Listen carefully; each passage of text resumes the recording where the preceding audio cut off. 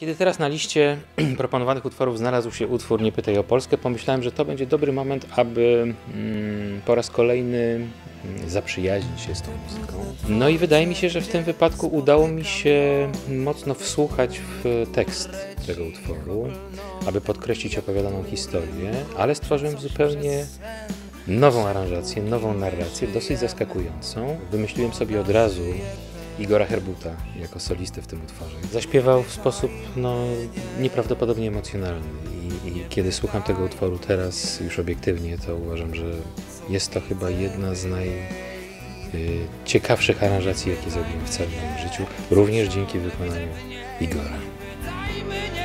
Dlaczego w innej nie, nie pytajmy nie, dlaczego ciągle chcę zasypiać w niej